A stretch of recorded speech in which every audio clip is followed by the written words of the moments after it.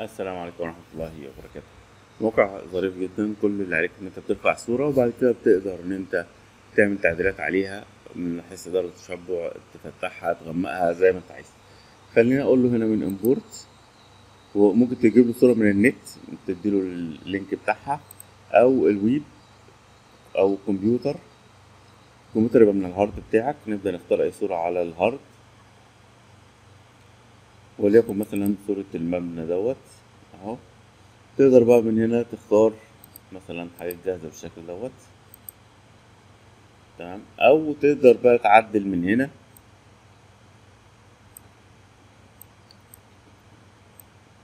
ال exposure تقدر تعدل فيه الجامة بالشكل دوت. أو تقدر تعدل بالشكل دوت.